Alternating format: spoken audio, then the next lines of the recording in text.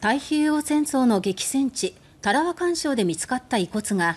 旧日本軍兵士の男性と確認されたことが分かりました。遺品がない中 DNA 鑑定だけで身元が確認されたのは今回が初めてです。太平洋中部のタラワ環礁では旧日本軍のおよそ4200人とアメリカ軍およそ1000人が死亡しました。厚生労働省は去年アメリカ政府からタラバ環礁で収集したアジア人とみられる遺骨のサンプル162点を提供されていました。厚労省によりますと日本人の遺族の DNA との照合を進めた結果1人の身元が確認されました。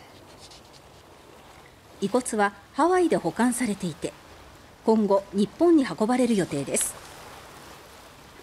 厚労省はこれまで原則として遺品などがある場合に DNA 鑑定をしてきましたが遺品がない遺骨で身元が確認されたのは今回が初めてです厚労省は沖縄でも遺品がない遺骨の DNA 鑑定を進めていて今後、硫黄島の遺骨でも進めていくとしています。